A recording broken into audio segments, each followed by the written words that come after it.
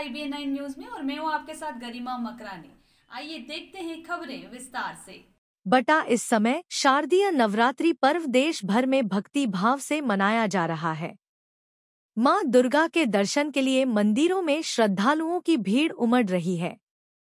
Indore Ichhapur state highway स्थित असीरगढ़ के प्राचीन कालीन माँ आशा देवी के दर्शन हेतु दूर दूर से श्रद्धालु पहुँच रहे हैं।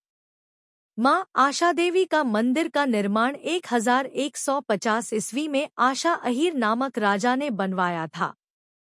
आशा अहीर राजा महान शासक पृथ्वीराज सिंह के भांजे थे। शारदीय नवरात्रि पर्व के दौरान माँ आशा देवी के मंदिर को आकर्षक रूप से सजाया गया है। रात के समय मंदिर की खूबसूरती देखती ही बनती है। नवरात्रि के दौरान माँ आशा देवी के मंदिर में नौ दिनों तक मेला भी लगता है। नवमी के दिन मंदिर में विशाल भंडारे का आयोजन होता है जिसमें हज़ारों श्रद्धालु एक साथ प्रसादी ग्रहण करते हैं। तीन पीढ़ी हो तीन पीढ़ी से सेवा दे रहे हैं तो माता जी पहले बाबा जी थे फिर इनके पिताजी थे। फिर हमने इनके तीसरे नंबर पीढ़ी। यहाँ पर कहाँ कहाँ से लोग आते हैं?